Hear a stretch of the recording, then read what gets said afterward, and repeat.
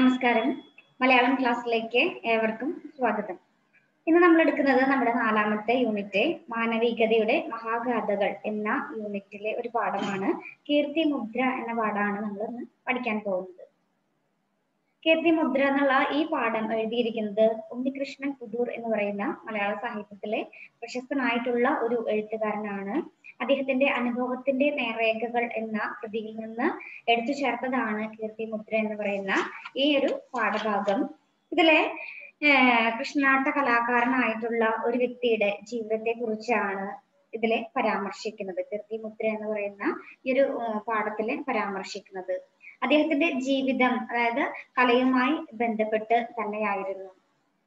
അദ്ദേഹം എന്താണ് ജീവിച്ചത് മുഴുവൻ എന്താണ് കലയെ തൊഴിലാക്കി മാറ്റുക മാത്രമല്ല കലയെ തന്റെ ഹൃദയത്തോട് ചേർത്ത് പിടിച്ച ഒരു വ്യക്തി കൂടിയായിരുന്നു ഈ ഒരു കീർത്തിമുദ്ര എന്ന് പറയുന്ന പാഠഭാഗത്തിലെ ആശാൻ എന്ന് പറയുന്ന വ്യക്തി.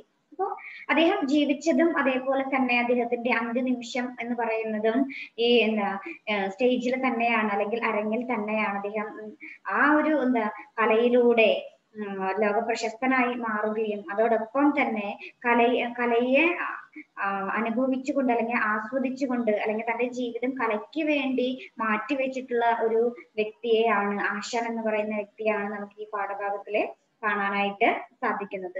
അപ്പോ ആരാണ് ഉണ്ണികൃഷ്ണൻ പുതൂർ എന്ന് പറയുന്ന എഴുത്തുകാരൻ? അദ്ദേഹത്തെ കുറിച്ച് നമുക്ക് അറിയാം. അദ്ദേഹത്തിന്റെ കൃതികൾ എന്തൊക്കെയാണ്? നമുക്ക് നമുക്കൊന്ന് നോക്കാം.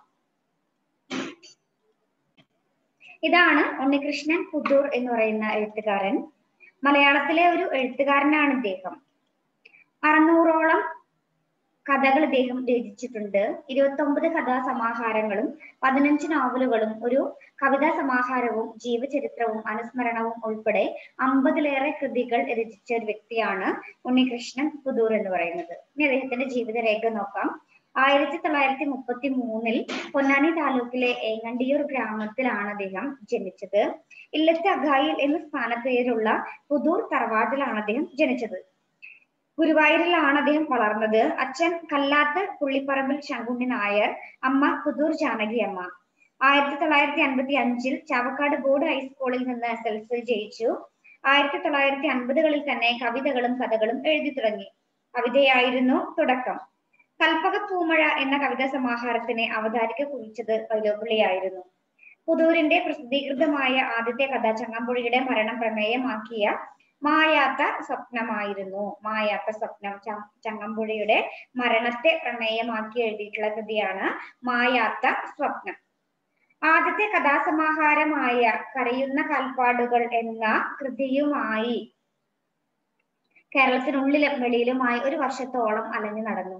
ആയിരത്തി തൊള്ളായിരത്തി അമ്പത്തി നാല് മുതൽ അമ്പത്തി ആറ് വരെ പാലക്കാട് വിക്ടോറിയ കോളേജിൽ പഠിച്ചെങ്കിലും ബിരുദം എടുക്കാതെ അദ്ദേഹം രാഷ്ട്രീയ പ്രവർത്തകനായിട്ട് മാറുകയാണ് ചെയ്തത്. തുടർന്ന് അദ്ദേഹം ഗുരുവായൂർ ദേവസ്വത്തിലെ ജോലി നോക്കുന്നു. ദേവസ്വത്തിലെ ആയിരത്തി തൊള്ളായിരത്തി അൻപത്തി ഏഴിൽ ഗുരുവായൂർ ദേവസ്വത്തിലെ ഗുമസ്തനായിട്ട് അദ്ദേഹം ജോലിയിൽ പ്രവേശിക്കുകയാണ് ഉണ്ടായത്. പിന്നെ അദ്ദേഹം ലൈബ്രറി എസ്റ്റാബ്ലിഷ്മെന്റിന്റെ വകുപ്പ് മേധാവിയായിട്ട് ഉദ്യോഗത്തിൽ നിന്ന് വിരമിച്ചു. രണ്ടായിരത്തി പതിനാലിലാണ് അദ്ദേഹം മരണമടയുന്നത്. അദ്ദേഹത്തിന്റെ എൺപത്തി ഒന്നാമത്തെ വയസ്സിലാണ് വാർദ്ധക്യ സഹജമായിട്ടുള്ള അസുഖങ്ങളെ തുടർന്ന് അദ്ദേഹം അന്തരിക്കുന്നത്. അദ്ദേഹത്തിന്റെ മൃതദേഹം പൂർണ ഔദ്യോഗിക ബഹുമതികളോടെ ഗുരുവായൂരെ വീട്ടുവളപ്പിൽ സംസ്കരിച്ചു. തങ്കമണിയാണ് ഭാര്യ ഷാജു ബിജു എന്നീ രണ്ട് മക്കളാണ് അദ്ദേഹത്തിന് ഉള്ളത്. ഇനി അദ്ദേഹത്തിന്റെ പ്രശസ്തമായിട്ടുള്ള കൃതികൾ അതൊക്കെയാണെന്ന് നോക്കാം. കംസൻ കാഴ്ചകൾക്കപ്പുറം നൃത്യയാത്ര ഗുരുവായൂരപ്പന്റെ തുളസിമാല ബലിക്കല്ല് ഗജരാജൻ ഗുരുവായൂർ കേശവൻ അമൃതമദനം ആനപ്പക മനസ്സെ ശാന്തമാകൂ ആട്ടുകട്ടിൽ പാവക്കിനാവ് വേദനകളും സ്വപ്നങ്ങളും സുന്ദരി ചെറിയമ്മ നക്ഷത്ര കുഞ്ഞ് മകന്റെ ഭാഗ്യം എന്റെ നൂറ്റൊന്ന് കഥകൾ. ഇതൊക്കെയാണ് അദ്ദേഹത്തിന്റെ പ്രസിദ്ധങ്ങളായിട്ടുള്ള കൃതികൾ. അദ്ദേഹത്തിന് ലഭിച്ച പുരസ്കാരങ്ങൾ എന്തൊക്കെയാണെന്ന് നോക്കാം. കേരള സാഹിത്യ അക്കാദമി അവാർഡ് അദ്ദേഹത്തിന് ബലിക്കല്ല് എന്ന് പറയുന്ന കൃതിക്ക് ലഭിച്ചിട്ടുണ്ട്. ആയിരത്തി തൊള്ളായിരത്തി അറുപത്തി എട്ടിലാണ് അദ്ദേഹത്തിന് ആ ഒരു ബഹുമതി നേടാനായിട്ട് സാധിച്ചത്. ജി സ്മാരക അവാർഡ് നാഴികമണിക്ക് ആത്മകഥ ഉപാഖ്യാന നോവലാണത് അപ്പൊ അതിന് ലഭിച്ചിട്ടുണ്ട്. പത്മപ്രഭ പുരസ്കാരം ആയിരത്തി തൊള്ളായിരത്തി തൊണ്ണൂറ്റി ആറിലെ എന്റെ നൂറ്റൊന്ന് കഥകൾ എന്ന പ്രഥമ കഥാസമാഹാരത്തിന് അദ്ദേഹത്തിന് ലഭിച്ചിട്ടുണ്ട്. അപ്പൊ ഇതൊക്കെയാണ് ഉണ്ണികൃഷ്ണൻ പുതൂർ എന്ന് പറയുന്ന എഴുത്തുകാരനെ കുറിച്ച് നമുക്ക് അറിയാനായിട്ട് സാധിച്ചത്. ഇനി അദ്ദേഹത്തിന്റെ അനുഭവങ്ങളുടെ നേർരേഖകൾ എന്ന് പറയുന്ന കൃതിയിൽ നിന്ന് എടുത്തു ചേർത്ത കീർത്തി മുദ്ര എന്ന് പറയുന്ന പാഠഭാഗത്തിലേക്ക് കടക്കാം. ഇതിലെ കഥാ പ്രധാന കഥാപാത്രമായിട്ട് വരുന്നത് ആശാനാണ് അത് ഞാൻ പറഞ്ഞ ആദ്യമേ അദ്ദേഹം എന്താണ് ഒരു കൃഷ്ണനാട്ടം കലാകാരനാണ്. അപ്പൊ എന്താണ് കൃഷ്ണനാട്ടം? അല്ലെങ്കിൽ എന്താണ് കൃഷ്ണഗീതി? എന്താണ് എന്നതിനെ കുറിച്ച് നമുക്കൊന്ന് നോക്കാം. കോഴിക്കോട് സാമൂതിരി ആണ് അതായത് കൃഷ്ണനാട്ടം എന്ന് പറയുന്ന കലാരൂപത്തിന് രൂപം നൽകിയത് കോഴിക്കോട് സാമൂതിരിയാണ്. ഈ കൃഷ്ണനാട്ടം ആ കൃഷ്ണനാട്ടം എന്താണ് എട്ട് ദിവസങ്ങളിലായിട്ടാണ് ഇത് രംഗത്ത് അവതരിപ്പിക്കുന്നത്. അതിൽ എല്ലാ കാര്യങ്ങളും എന്താണ് എട്ടിനോട് അനുബന്ധപ്പെട്ടതാണ്. അതുകൂടാതെ കൃഷ്ണന്റെ എന്താണ് ജനനം മുതൽ സ്വർഗാരോഹണം വരെയുള്ള കാര്യങ്ങളാണ് ഈ ഒരു കൃഷ്ണനാട്ടത്തിൽ വിശദീകരിക്കുന്നത് അല്ലെങ്കിൽ വിശദമായിട്ട് പരാമർശിക്കുന്നത്. അപ്പോ നമുക്ക് പഠിക്കാനുള്ള കീർത്തി മുദ്ര എന്ന് പറയുന്ന പാഠഭാഗത്തിലെ കൃഷ്ണനാട്ട കലാകാരനായിരുന്ന ആശാനെ കുറിച്ചാണ് നമ്മൾ പഠിക്കാനായിട്ട് പോകുന്നത്. ആശാൻ പതിനെട്ടാമത്തെ വയസ്സിൽ കൃഷ്ണനാട്ട കലാകാരനായിട്ട് മാറുന്നു. അദ്ദേഹത്തിന്റെ എൺപത്തി ഒന്നാമത്തെ വയസ്സ് വരെ അദ്ദേഹത്തിന്റെ എന്താണ് തൊഴിൽ മാത്രമല്ല അദ്ദേഹത്തിന് ഏറ്റവും ഇഷ്ടപ്പെട്ട അല്ലെങ്കിൽ ഒരു മേഖല എന്ന് പറയുന്നത് കലാകാരനായിട്ട് ജീവിക്കുന്നത് മാത്രമാണ്. അപ്പോൾ ഇന്നത്തെ കാലഘട്ടത്തിനെ അപേക്ഷിച്ച് പണ്ട് കാലത്തെ കലാകാരന്മാർക്ക് കലയോട് തീർച്ചയായിട്ടും ഒരു ആത്മാർത്ഥത ഉണ്ടായിരുന്നു. അവരെ വെറുതെ ഒരു നേരം പോക്കിനോ അല്ലെങ്കിൽ എന്താണ് വിശപ്പടക്കാനുള്ള ഒന്നും ആയിട്ടല്ല അവരെ കലയെ കണ്ടിരുന്നത്.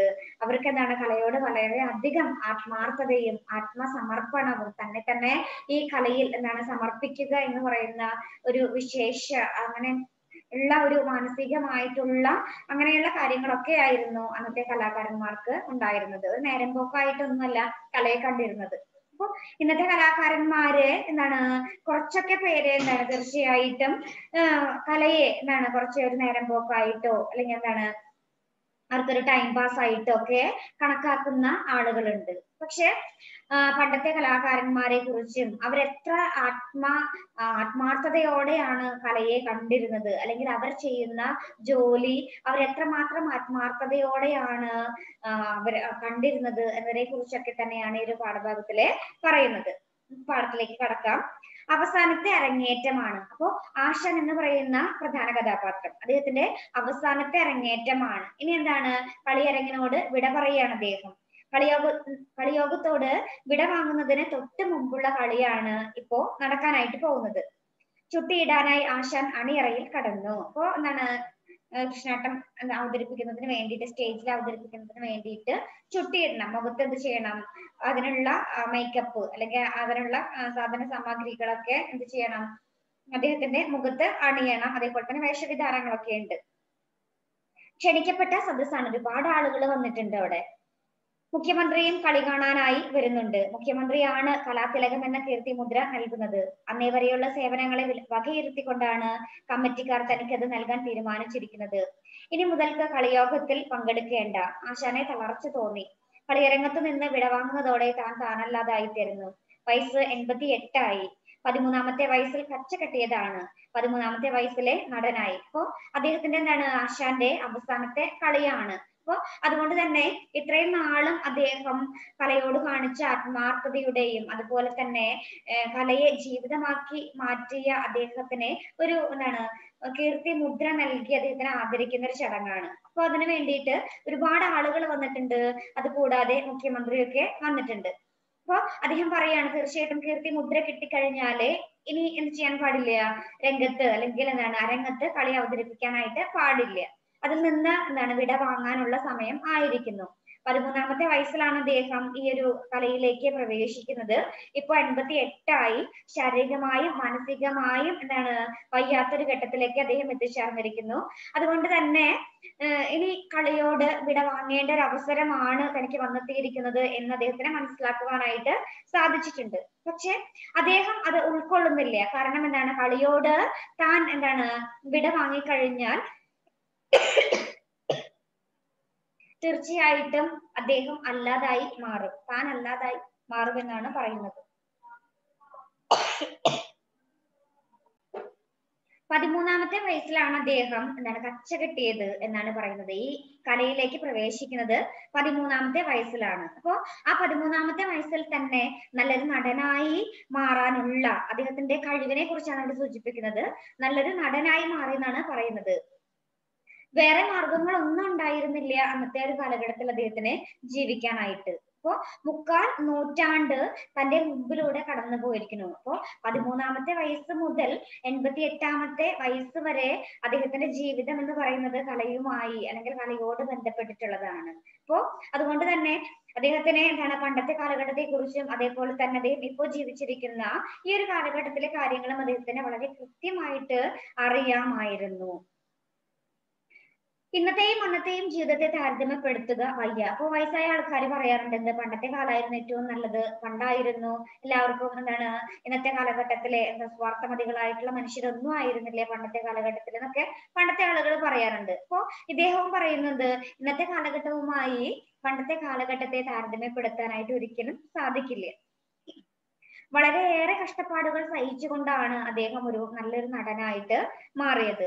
നിരവധി നാഴികകൾ കളിപ്പട്ടി തലയിൽ ഏറ്റിക്കൊണ്ട് നടന്നിട്ടുണ്ട്. അപ്പോ ഇന്നെന്താണ് നമുക്ക് യാത്രാ സൗകര്യം ഉണ്ട് വണ്ടി ഉണ്ട് അപ്പോ ഒരു സ്റ്റേജിൽ നിന്ന് മറ്റൊരു സ്റ്റേജിലേക്ക് പോകണമെങ്കിൽ എന്താണ് ആ അവരുടെ അവർക്ക് ആവശ്യമായി കളിക്ക് ആവശ്യമായിട്ടുള്ള സാധനങ്ങളെല്ലാം വണ്ടിയിൽ വെച്ചിട്ട് അവർക്ക് എന്താണ് യാത്ര ചെയ്യാം. പക്ഷെ പണ്ടത്തെ കാലഘട്ടം എന്ന് പറയുന്നത് എന്താണ്? യാത്രാമാർഗങ്ങൾ ഇല്ലാതിരുന്ന ഒരു കാലഘട്ടത്തിലെ ഒരു സ്റ്റേജിൽ നിന്ന് മറ്റൊരു സ്റ്റേജിലേക്ക് പോകേണ്ടത് നടന്നിട്ടായിരുന്നു. അപ്പോ ഇവർക്ക് ആവശ്യമായിട്ടുള്ള കളിപ്പെട്ടി ഇവരുടെ തലയിൽ വെച്ചുകൊണ്ട് അല്ലെങ്കിൽ എന്താണ് കൃഷ്ണനാട്ടം കളിക്കാൻ ആവശ്യമായിട്ടുള്ള എന്താണ് വേഷവിധാനങ്ങളായിക്കോട്ടെ മുഖത്ത് ഇടേണ്ടതായിട്ടുള്ള മുഖാവരണങ്ങളായിക്കോട്ടെ എല്ലാം എന്താണ് ഇട്ടിരിക്കുന്ന അല്ലെങ്കിൽ എല്ലാം അടക്കി വെച്ചിരിക്കുന്ന ഒരു പെട്ടി തലയിൽ ഏറ്റിക്കൊണ്ടാണ് ഇവർ എത്രയോ നാഴികകൾ നടന്നിട്ടുണ്ട് എന്നാണ് പറയുന്നത്. അപ്പോ തീർച്ചയായിട്ടും ഇന്നത്തെ കുട്ടികൾക്ക് എന്തറിയാം എന്നാണ് അദ്ദേഹം ചോദിക്കുന്നത്. ഒന്നും അറിയില്ല? കാരണം പണ്ടത്തെ ആ ബുദ്ധിമുട്ടുകളൊന്നും തന്നെ ഇന്നത്തെ കുട്ടികൾ ആരും തന്നെ അറിഞ്ഞിട്ടില്ല എന്നാണ് നമുക്ക് മനസ്സിലാക്കുവാനായിട്ട് സാധിക്കുന്നത്. ഇന്നുള്ള കുട്ടികൾക്ക് എല്ലാ കാര്യത്തിനും കൃത്യമായിട്ടുള്ള അല്ലെങ്കിൽ എന്താണ് അവർക്ക് ആശിച്ച കാര്യങ്ങൾ ചെയ്യാനായിട്ട് സാധിക്കുന്നു. പണ്ടത്തെ കാലഘട്ടത്തിൽ ഉണ്ടായിരുന്ന പണ്ടത്തെ ആളുകൾ അനുഭ അനുഭവിച്ചിരുന്ന ബുദ്ധിമുട്ടുകളൊന്നും തന്നെ ഇന്നത്തെ കുട്ടികൾക്ക് അറിയില്ലേ? അപ്പൊ അവരൊക്കെ കലയെ കാര്യമായിട്ട് എടുക്കുന്നുണ്ട് എന്ന് ഉറപ്പിച്ചുകൂടാ. അപ്പൊ അദ്ദേഹം പറയാണ് ഇന്നത്തെ തലമുറയിലെ കുട്ടികൾ കലയെ കാര്യമായിട്ട് എടുക്കുന്നുണ്ടോ എന്ന് അദ്ദേഹത്തിന് അറിയില്ല എന്ന് പറയുന്നു. എന്നാൽ കുറച്ച് ആളുകളൊക്കെ കലയെ എന്താണ് സീരിയസ് ആയിട്ട് എടുക്കുന്ന ആളുകളുണ്ട്. പിന്നെ കുറെ ആളുകൾ എന്താണ് വെറുതെ ഒരു ടൈം പാസ് ആയിട്ട് കലയെ കണക്കാക്കുന്ന ആളുകളും ഉണ്ട് എന്ന് പറയുന്നു. ഇദ്ദേഹത്തിന് ആശാനെ കളിയരങ്ങ് എന്ന് വെച്ചാൽ ദൈവ സന്നിധിയായിരുന്നു എന്നാണ് പറയുന്നത്. അത്രയും എന്താണ് ദൈവത്തെ പോലെ കണ്ടിരുന്നു എന്നാണ് പറയുന്നത്. മറ്റെന്തെങ്കിലും കരുതാനുള്ള ധിക്കാരമോ പരിഷ്കാരമോ തന്നെ സംബന്ധിച്ചിടത്തോളം ഉണ്ടായിരുന്നില്ല. താൻ എന്നും തനത് ഗുരുനാഥന്മാരെ അനുസരിച്ചിരുന്നു. അനുസരണയും അച്ചടക്കവും പ്രയത്നിക്കാനുള്ള സന്നദ്ധതയുമാണ് ഒരു കലാകാരനെ ആദ്യമായി ഉണ്ടാകേണ്ടത്. അപ്പോ അദ്ദേഹം പറയാണ് അദ്ദേഹം തന്റെ ഗുരുനാഥന്മാരെ ഏതൊരു കാലഘട്ടത്തിലും അദ്ദേഹം ബഹുമാനിച്ചിരുന്നു എന്നാണ് പറയുന്നത്. അപ്പൊ ഒരു നല്ല കലാകാരനെ ഉണ്ടായിരിക്കേണ്ട അല്ലെങ്കിൽ ഒരു നല്ല കലാകാരൻ എങ്ങനെയാവണം എന്നതിനെ കുറിച്ചാണ് അദ്ദേഹം ഇവിടെ വിശദമാക്കുന്നത്. ഒരു കലാകാരൻ എങ്ങനെയായിരിക്കണം എന്നതിനെ കുറിച്ച് അദ്ദേഹം ഇവിടെ സൂചിപ്പിക്കുന്നു. എന്തൊക്കെയാ വേണ്ടത്? അനുസരണ ഉണ്ടായിരിക്കണം അച്ചടക്കം ഉണ്ടായിരിക്കണം പ്രയത്നിക്കാനുള്ള സന്നദ്ധത. ഇത് മൂന്നുമാണ് ഉണ്ടായിരിക്കേണ്ടത്. അത് മൂന്നും ഉണ്ടെങ്കിൽ തീർച്ചയായിട്ടും ഒരു നല്ല കലാകാരനായിട്ട് അവൻ മാറുന്നു. അതുണ്ടായി കഴിഞ്ഞാൽ മുഖമുദ്ര താനെ വാർന്നു വീണുകൊള്ളും. താൻ കെട്ടിയാടുന്ന കഥാപാത്രങ്ങളിൽ സ്വന്തം വ്യക്തിമുദ്ര വാർന്നു വീണിട്ടുണ്ടോ എന്ന് അറിഞ്ഞുകൂടാ ശിഷ്യന്മാർ ഒട്ടേറെയുണ്ട്. എല്ലാവരും തന്നെ ആശാനെന്ന് വിളിക്കുന്നു. പ്രായം ചെന്നത് കൊണ്ടുള്ള വിളിയാണെങ്കിൽ താൻ അതിനെ കാര്യമായിട്ട് എടുക്കുന്നില്ല അല്ല നല്ലൊരു വേഷക്കാരൻ എന്ന ബോധത്തോട് കൂടിയ വിളിയാണെങ്കിൽ തനിക്കതിൽ അഭിമാനമുണ്ട്. അപ്പൊ അദ്ദേഹം പറയാണ് അദ്ദേഹത്തിന് ഒരുപാട് ശിഷ്യന്മാരുണ്ട്. ആ ശിഷ്യന്മാരൊക്കെ അദ്ദേഹത്തിന് ആശാൻ എന്നാണ് വിളിക്കുന്നത്. അപ്പോ ആശാൻ എന്ന് വിളിക്കുന്നത് അദ്ദേഹത്തിന് പ്രായമായത് കൊണ്ടാണ് എന്ന് അദ്ദേഹത്തിന് അറിയില്ല? ചിലപ്പോ എന്താണ് അദ്ദേഹം ഒരു നല്ല കളിക്കാരൻ ആയതുകൊണ്ടായിരിക്കും അദ്ദേഹത്തെ ആശാൻ എന്ന് വിളിക്കുന്നത് എന്ന് അദ്ദേഹം അദ്ദേഹത്തിന്റെ മനസ്സിൽ അങ്ങനെയൊക്കെയുള്ള തോന്നലുകളുണ്ട്. ഇന്ന് ഒന്നിനും എന്താണ് വയ്യാണ്ടായിരിക്കുന്നു. കാരണം എന്താണ്? എൺപത്തിയെട്ട് വയസ്സായി. അതുകൊണ്ട് തന്നെ ശാരീരികമായി മാനസികമായി വളരെ എന്താണ് അസുഖങ്ങൾ ബാധിച്ച വളരെ ബുദ്ധിമുട്ടുകൾ അനുഭവിക്കുന്ന ഒരു സാഹചര്യമാണ് അദ്ദേഹത്തിന് ഉള്ളത്. ക്ഷീണം തല തലചുറ്റൽ കാസശ്വാസം എല്ലാ രോഗങ്ങളും വന്ന് വലയം ചെയ്തിരിക്കുകയാണ്. അപ്പൊ എല്ലാ അസുഖങ്ങളും വന്ന് അദ്ദേഹത്തെ വലയം ചെയ്തിരിക്കുന്നു എന്നാണ് പറയുന്നത്. പലതും മോഹിച്ചവനാണ്. മോഹിച്ചതൊന്നും കിട്ടണമെന്നില്ല. വിധിച്ചതേ കിട്ടൂ. താൻ ഒരുത്തിയെ സ്നേഹിച്ചു മോഹിനിയാട്ട കലാകാരി കുഞ്ഞുലക്ഷ്മിയെ. കിട്ടിയില്ല. പുക പോലെ മനസ്സിൽ നിന്ന് മാഞ്ഞു പോയിട്ട് കാലം എത്രയായിരുന്നു അപ്പോ അദ്ദേഹം അദ്ദേഹത്തിന്റെ ജീവിതത്തിൽ നിന്ന് പഠിച്ചൊരു പാഠമാണ്. നമ്മൾ ആഗ്രഹിച്ച കാര്യങ്ങളൊന്നും തന്നെ എന്താണ് നമുക്കത് നേടിയെടുക്കാനായിട്ട് സാധിക്കില്ല. അല്ലെങ്കിൽ മോഹിച്ചതൊന്നും തന്നെ എന്ത് കിട്ടണമെന്നില്ല. അദ്ദേഹം പറയുന്നു വിധിച്ച് നമുക്ക് എന്താണ് വിധിച്ചത്? അത് മാത്രമേ നമുക്ക് ലഭിക്കുകയുള്ളൂ. അപ്പോ അദ്ദേഹത്തിന് ചെറുപ്പത്തിൽ ഉണ്ടായിരുന്ന ഒരു ആഗ്രഹം എന്ന് പറയുന്നത് മോഹിനിയാട്ട കലാകാരി കുഞ്ഞുകുട്ടി അമ്മയെ അദ്ദേഹം കുഞ്ഞുലക്ഷ്മി അമ്മയെ അദ്ദേഹം എന്താണ് വളരെയധികം ഇഷ്ടപ്പെട്ടിരുന്നു. പക്ഷേ അദ്ദേഹത്തിന് അവരെ സ്വന്തമാക്കാനായിട്ട് സാധിച്ചില്ല എന്ന് പറയുന്നുണ്ട്. ഈ ലോകത്തിൽ അതുകൊണ്ട് തന്നെ അദ്ദേഹം പറയുന്നു ഈ ലോകത്തിൽ ശാശ്വതമായിട്ട് ഒന്നും തന്നെ ഇല്ല? അതായത് ഏതൊരു കാലഘട്ടത്തിലും നിലനിൽക്കുന്നത് ഒന്നും തന്നെ ഇല്ല? എല്ലാം എന്താണ് പെട്ടെന്ന് ഇല്ലാതാവുന്നതാണ് എന്നത് അദ്ദേഹത്തിന്റെ ജീവിതത്തിൽ നിന്ന് അദ്ദേഹത്തിന് മനസ്സിലാക്കാൻ സാധിച്ചിട്ടുള്ള ഒരു കാര്യമാണ്. എല്ലാം മറഞ്ഞു പോകുന്നു. കലയും കാമനയും എല്ലാം തന്നെ. ഇപ്പോ ഈ ലോകത്തിൽ ഒന്നും ശാശ്വതമായിട്ടുള്ളതില്ല. എല്ലാം എന്താണ്? അശ്വരങ്ങളാണ്. എപ്പോൾ വേണമെങ്കിലും നശിച്ചു പോകാവുന്നതാണ് എന്ന ബോധം ഈ ആശാന് ഉണ്ട്. തന്റെ വേഷം കണ്ട് കൺ കുളിർത്തു പോയവരുണ്ട്. അന്ന് തന്റെ വേഷം സ്വയംവരത്തിലെ കൃഷ്ണനായിരുന്നു. അപ്പൊ പണ്ടത്തെ കാലഘട്ടത്തിൽ ഇദ്ദേഹം സ്വയംവര കൃഷ്ണനായിട്ടാണ് വേഷം കെട്ടിയിരുന്നത്. വയസ്സ് ഇരുപത്തിരണ്ടാണ്. വൃന്ദാവന തീരത്തെ രാധ തന്നെ സംബന്ധിച്ചിടത്തോളം കുഞ്ഞുലക്ഷ്മിയാണ്.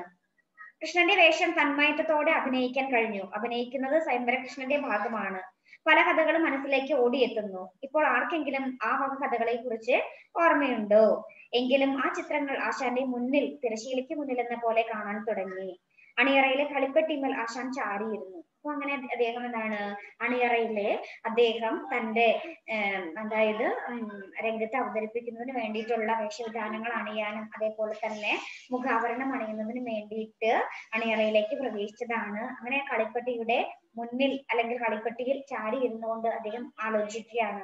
താൻ എന്താണ് പണ്ടത്തെ ഇരുപത്തിരണ്ട് ആ ഒരു വയസ്സ് ആ ഒരു കാലഘട്ടത്തിൽ അദ്ദേഹം സ്വയംവര കൃഷ്ണനായിട്ടാണ് വേഷം കെട്ടിയിരുന്നത്. അപ്പോ ഉം അദ്ദേഹത്തിന് രാധ എന്ന് പറയുന്നത് അദ്ദേഹം സ്നേഹിച്ച കുഞ്ഞുലക്ഷ്മി ആയിരുന്നു. അല്ലെങ്കിൽ കുഞ്ഞുലക്ഷ്മിയാണ് അദ്ദേഹം രാധയായിട്ട് കണ്ടിരുന്നത് എന്നൊക്കെ പറയുന്നുണ്ട്. അപ്പൊ വളരെ എന്താണ് സ്വയംവര കൃഷ്ണനായിട്ട് വേഷം കെട്ടുക മാത്രമല്ല അദ്ദേഹം ചെയ്തത്.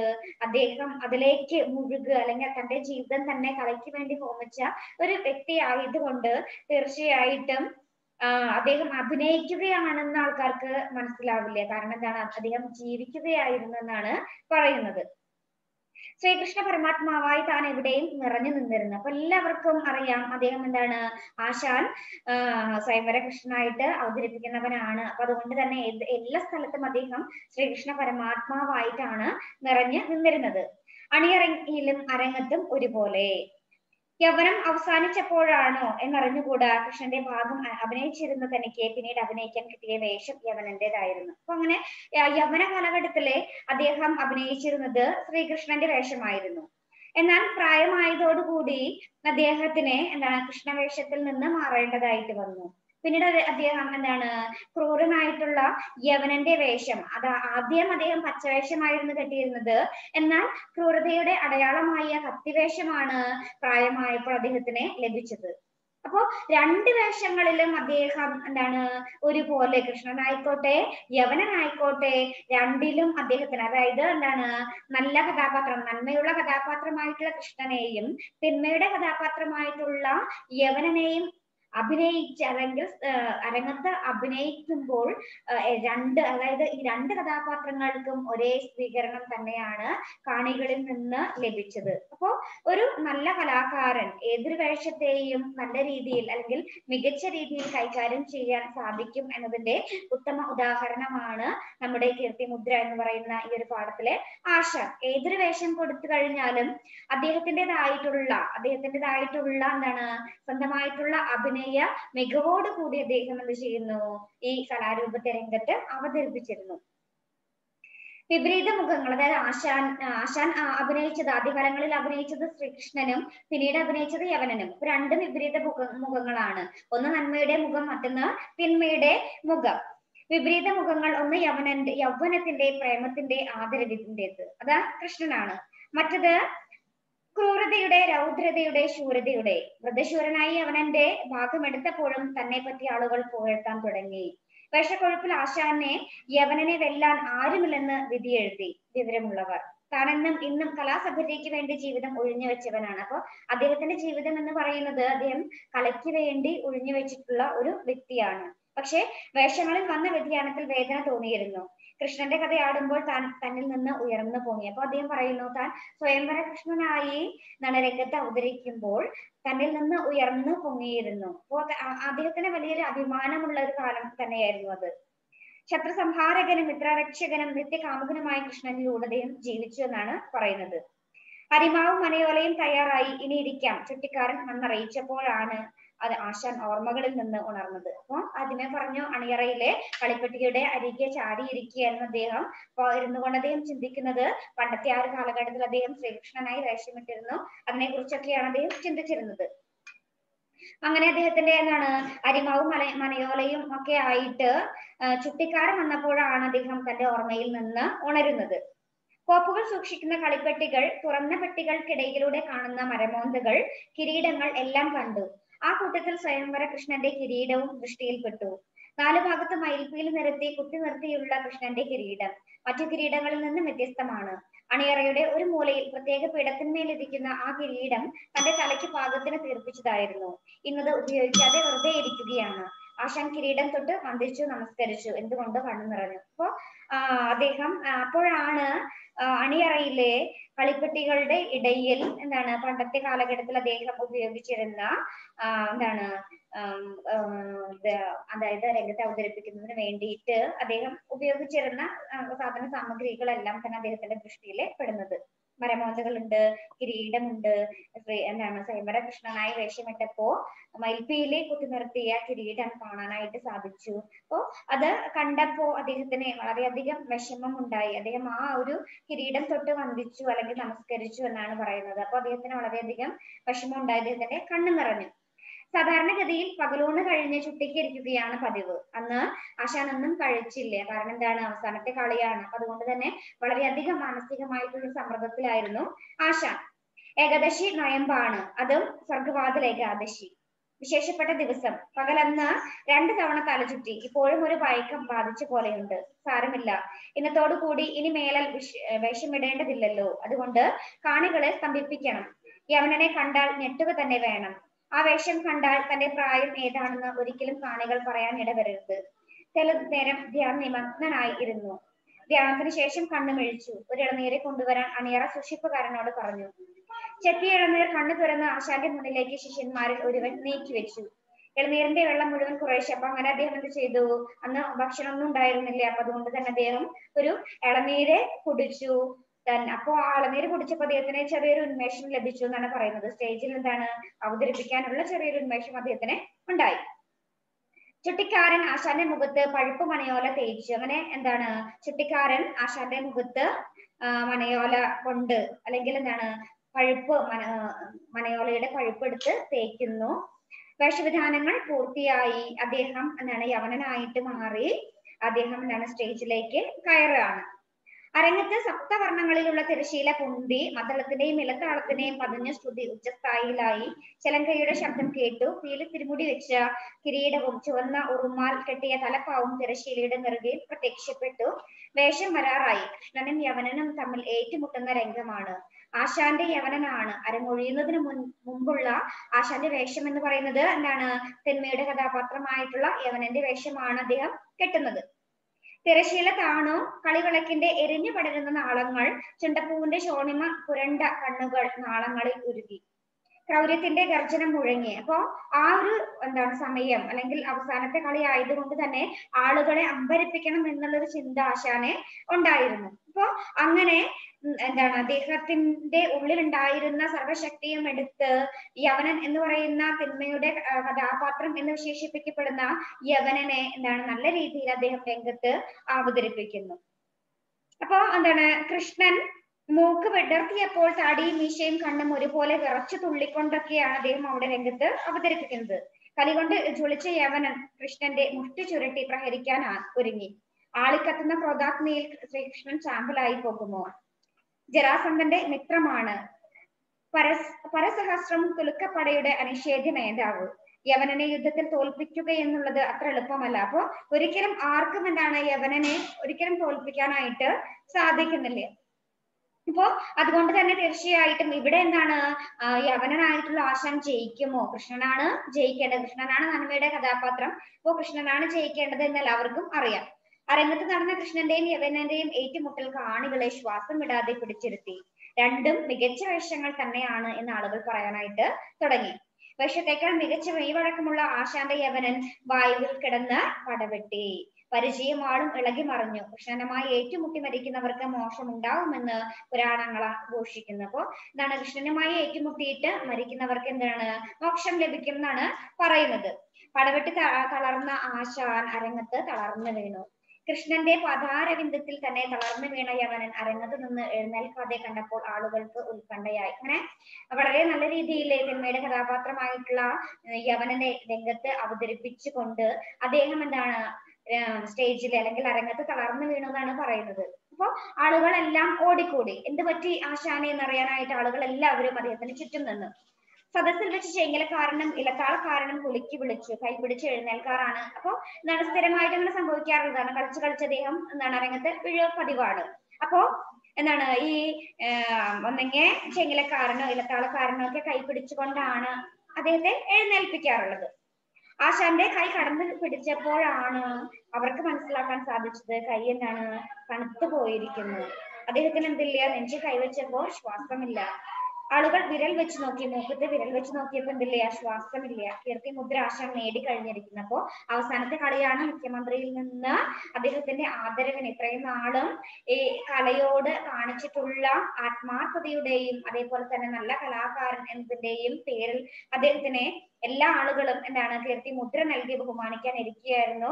അപ്പോ അദ്ദേഹത്തിന് ഒട്ടും ഇഷ്ടമല്ലേ കലയോട് വിടവാങ്ങുന്നത് അപ്പൊ അദ്ദേഹത്തിന്റെ ആഗ്രഹം പോലെ തന്നെ അദ്ദേഹം എന്താണ് സ്റ്റേജിൽ തളർന്നു വീഴുകയാണ്. അദ്ദേഹം അവിടെ വെച്ച് സ്റ്റേജിൽ വെച്ച് മരണം ചെയ്യുന്നത്. അനൗൺസർ പ്രഖ്യാപിച്ചു. ഇതോടെ കളി അവസാനിച്ചിരിക്കുന്നു. ആശാന്റെ കീർത്തി മുദ്രാദാനം നടത്താൻ നിർവാഹമില്ല. മരിച്ചു പോയിരിക്കുന്നു. ഇനി ഒരിക്കലും എന്ത് ചെയ്യാൻ സാധിക്കില്ല? അദ്ദേഹത്തിന് കീർത്തി മുദ്ര നൽകാനായിട്ട് സാധിക്കില്ല. അപ്പൊ ഒരു നടക്ഷനാട്ടം എന്ന് പറയുന്ന കല അവതരിപ്പിക്കുന്ന ഒരു കലാകാരൻ അദ്ദേഹത്തിന്റെ ജീവിതം മുഴുവൻ കലയ്ക്ക് വേണ്ടി മാറ്റി വെക്കുകയും അതോടൊപ്പം തന്നെ കലയിലൂടെ എന്നാണ് മോക്ഷം ലഭിക്കുക എന്ന് പറയില്ലേ? അങ്ങനെ മരിച്ച് അനശ്വരനായി മാറുകയും ചെയ്തിട്ടുള്ള ആശാൻ എന്ന് പറയുന്ന കഥാപാത്രത്തെയാണ് കീർത്തിമുദ്ര എന്ന് പറയുന്ന ഈ ഒരു കൃതിയിൽ അതെ അതായത് ഉണ്ണികൃഷ്ണൻ പുതൂർ എന്ന് പറയുന്ന എഴുത്തുകാരൻ അവതരിപ്പിക്കുന്നത്. തീർച്ചയായിട്ടും പണ്ടത്തെ കാലഘട്ടത്തിലെ കലാകാരന്മാരുടെ സവിശേഷത എന്തൊക്കെയായിരുന്നു എന്നും അതുപോലെ തന്നെ ഇന്നത്തെ കാലഘട്ടത്തിലെ കലാകാരന്മാർ ഏത് രീതിയിലാണ് കലയെ കാണുന്നത് എന്നതിനെ കുറിച്ചൊക്കെ തന്നെ ഈ ഒരു പാഠഭാഗത്തിൽ നമ്മൾ കണ്ടതാണ്. അപ്പോ പാഠഭാഗം നന്നായിട്ട് വായിച്ച് മനസ്സിലാക്കുക. ഇന്നത്തെ ക്ലാസ് ഇവിടെ അവസാനിക്കുകയാണ്. നന്ദി നമസ്കാരം.